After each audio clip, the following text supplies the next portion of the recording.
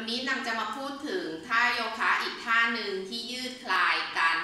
การตึงในส่วนไหล่ในส่วนบ่าได้เยอะมาก โคมุกัสนะในท่ายืน หรือที่เราเรียกว่าท่าข่าวเฟสท่าหน้าวัว ท่าหน้าวัวนะคะจะเป็นการพับแขน พับแขนขวา พับแขนซ้าย แล้วจับค่ะ พยายามจับให้ได้ จับมือเข้าหากันให้ได้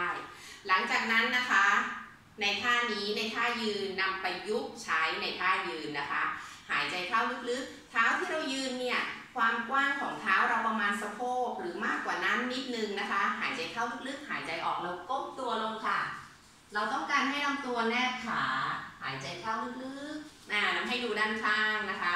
หายใจออกก้มตัวลงลำตัวแนบขาศอกแตะขาได้แตะลงไป หายใจหายใจ เข้านะคะยกตัวขึ้นหายใจออก หายใจเข้า เปลี่ยนมือค่ะทำขวาแล้วซ้ายทำซ้ายแล้วขวาเหมือนเดิมพยายาม จับมือเข้าหากันให้ได้ เปิดหน้าอก หายใจเข้าลึกยืดขึ้น หายใจออกกดลงไป อยากให้ศอกเราเนี่ยแตะขาหน้าท้องแนบขา หายใจเข้ายืดขึ้น หายใจออก หายใจเข้า บนล่างนะคะ ขวาซ้าย หายใจเข้า หายใจออกเองเท่าที่ได้ หายใจเข้าขึ้นหายใจออกเอง